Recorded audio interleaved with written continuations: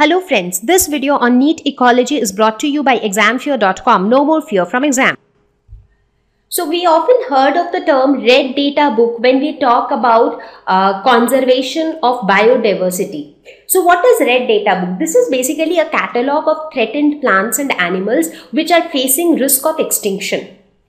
So this concept of red data book was introduced in the year of 1963 by IUCN. So IUCN stands for International Union for Conservation of Nature and Natural Resources. This is, however, the name IUCN is now replaced with WCU, that is World Conservation Union. So World Conservation Union is the uh, is, is the uh, main body which initiated this concept of red data book in 1963 now how this helps. So in this red data book you have list of all plant and animal species which are facing extinction. Now certain species are at the higher risk of extinction. Certain species are at lower risk of extinction. So now when you know those levels of extinction you can take actions accordingly to prevent that particular species from extinction now, there are various categories of species. What are these categories? Like threatened species. So, under threatened species, you again have some subcategories like endangered,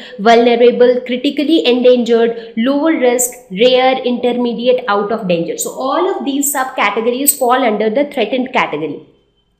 You have another category called extinct, which have already become extinct. One is extinct and wild. One is data deficient and not evaluated. So these are now for everything you see, you have a short form like threatened, you have T. For extinct, you have EX. For extinct and wild, you have EW. Data deficient, you have DD. Not evaluated, you have NE and so on. So these terms like for every species, you would have a category attached to it. So if a species has become extinct, so then there is no point taking any steps for them because they have already become extinct. If there is a species which is threatened, now under threatened, what is the level of its threatening? Like whether it is critically endangered or it is endangered or it is vulnerable. So looking at that category, you decide what steps need to be taken for that particular species.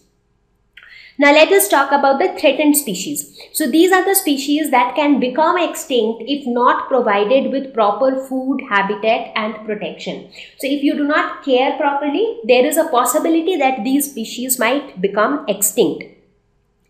Now, the threat, threatened species are recorded in the pink pages of the red data book. So, inside the red data book, you have pink pages which uh, lists down the threatened species and you also have the green pages which, which lists down the species which have recovered from the threatened uh, category. Like maybe a particular species is threatened right now but later if it is no more threatened because if if that species is able to reproduce properly and its population is gradually increasing so in that case it might get come out of the threatened category. So then it will be listed in the green page. So you have this pink pages and green pages inside the red data book now, following categories fall under threatened species, endangered, vulnerable, critically endangered and lower risk. So, we will talk about each of these four categories in more detail now. So, let's talk about the endangered species. So, endangered is often denoted by E or EN. So, these species experience high risk of extinction in the wild. So, such species have 20% probability of extinction so these species have 20% possibility of extinction in the next 20 years. So 20% probability of becoming extinct in next 20 years.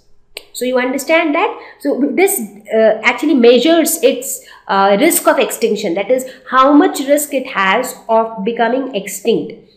Now, if you talk about uh, different groups of animals, you would see that almost 22% of the amphibians and reptiles are endangered. Some 19% of the mammals and angiosperms are also threatened.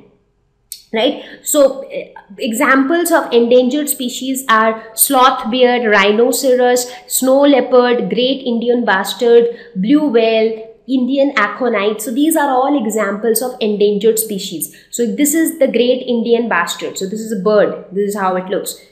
this is the blue whale, this is the white leopard, this is the rhinoceros so these are all examples of endangered species so their numbers are already less and looking at the way their numbers are decreasing it is calculated that in next 20 years there is 20% probability that their species might become totally extinct now let's move on to the next category which is critically endangered species. So critically endangered means they are they are at a more critical level. So species experiencing very high risk of extinction in the wild and can become ex extinct anytime in near future.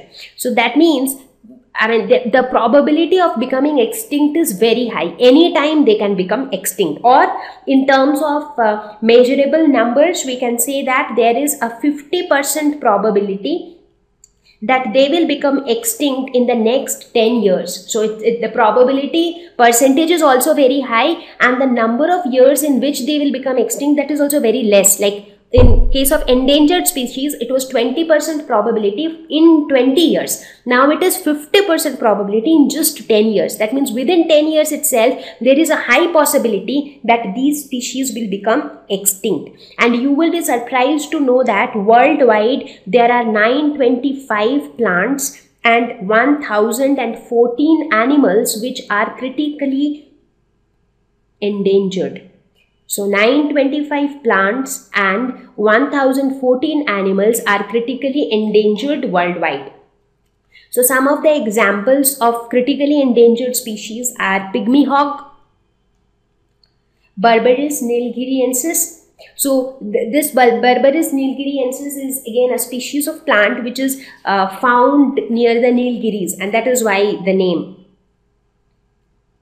Moving on to the next category is vulnerable species which is denoted by a capital V. So these are species which are undergoing depletion and thus facing risk of extinction in medium term future. So even though there is uh, no possibility of extinction in the near future but, but what we can see is that their total population is gradually reducing. So that means the species is undergoing depletion. The numbers are gradually decreasing.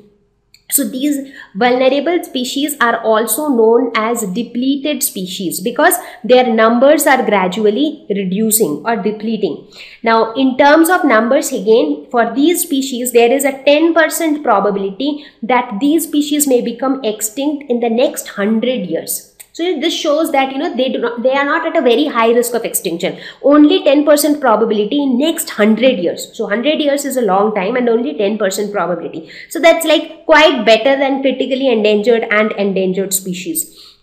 So uh, what has been found is around 34 to 51% of the threatened species are vulnerable. That means almost half of the threatened species are vulnerable. So some of the examples of vulnerable species are black buck, Indian gazelle, Cupressus kashmiriana, cheetah. So these are all examples of vulnerable species which might not become extinct immediately but yes there are chances of their extinction in mid-term future. Then we come to the lower risk species. The name itself says that the risk is quite low for these species. So such species Uh, face lower risk of extinction in future. However, need some attention to continue to flourish. Now, since they are under the threatened category, that means that there is a threat for their extinction, but the risk is quite less. So when compared to critically endangered, endangered or even vulnerable, their risk of extinction is comparatively lesser. Now lower risk species are also called near threatened species. So they are also abbreviated as NT that is near threatened. So near threatened and lower risks are like synonymous. So in India we have around 109 animals and 73 plant species which are near threatened. So these many plants and animals in India are near threatened or lower risk. So one of the examples is the mountain beaver as you see here on the screen. So this is also a lower risk species. Now the moment all, so basically all the plant and animal species which has been categorized under threatened species, whether it is vulnerable or lower risk or critically endangered or endangered, all of them need some attention either more attention or less attention but they need attention so at any cost we do not want their numbers to reduce drastically so either their numbers should continue to increase or they should remain maintained Thank you. Please visit examfear.com for free quality education. You can learn with a simple four step learning process wherein you can watch video lessons, you can ask your questions, you can refer notes, and you can take a free online test. We have content for class 6 to 12 on physics, chemistry, mathematics, and biology along with practical videos. So please subscribe to our channel for daily updates. Thank you.